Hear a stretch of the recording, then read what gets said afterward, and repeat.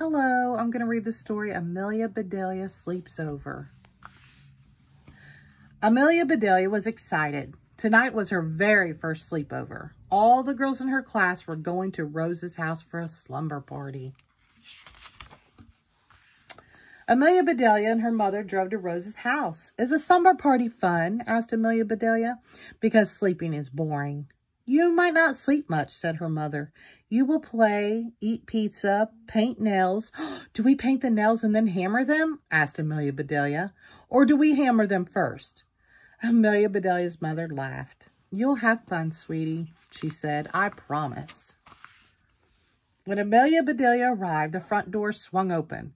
Her friends ran out to greet her. Rose's mother came outside too. Good luck, said Amelia Bedelia's mom. I think I'll need it, said Rose's mother. I am a light sleeper.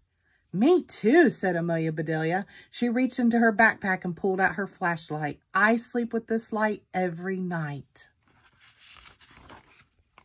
The girls played board games. Amelia Bedelia had worried that she would get bored, but she was not. Next, everyone went outside and played tag until the sun began to set. The pizza is here, called Rose's father. Come and get it.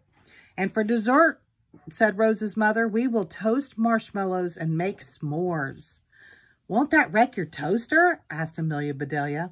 Marshmallows melt into gooey blobby. Rose's father laughed. We'll toast them on the grill, he said. After the pizza was gone, Dawn speared a marshmallow on Amelia Bedelia's stick. Holly showed her how to turn it carefully and slowly to get a crunchy brown skin. Amelia Bedelia put her marshmallow on top of a chocolate bar between two graham crackers. Yum, said Amelia Bedelia. I'd like some more, please. Now you know why they're called s'mores, said Rose. After many more s'mores, the girls went inside the house. They put on their pajamas, but it was not time to slumber yet. Rose brought out bottles of glittery nail polish in many colors than the rainbow. Every color had the perfect name. Heather painted Amelia Bedelia's nails with shamrock green on her left hand, blue iceberg on her right hand, and banana sunrise on her right foot. She saved her left foot for cotton candy cupcake.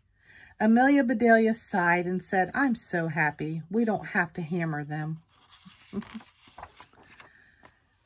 Too soon the clock struck ten. Bedtime, girls, said Rose's mother. Lights out and no giggling allowed.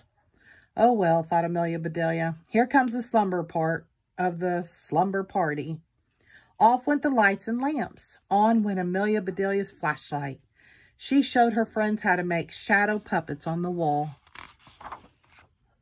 One by one, the girls fell asleep, all except Amelia Bedelia.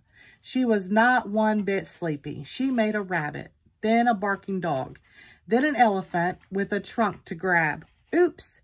Her flashlight went out. Oh no, said Amelia Bedelia. What light would keep her company now?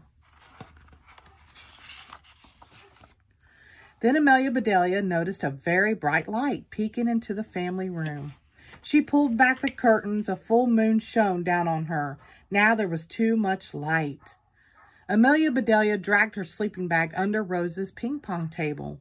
Perfect, thought Amelia Bedelia. Now I am having a sleepover and a sleep under. Amelia Bedelia snuggled down into her cozy sleeping bag. She gazed up at the moon. She had heard people say that there was a man in the moon. She'd never seen him until tonight. He looked just like her dad. Amelia Bedelia closed her eyes. A second later, she was sound asleep. The next morning, the girls had a pillow fight. Then they made chocolate chip pancakes and helped clean up the mess. Amelia Bedelia's dad picked her up. Nice nails, said her father. Thanks, Moon Man, said Amelia Bedelia. Huh, said her father. You sound like you need to take a nap. And so Amelia Bedelia did all the way home. The end. Thank you.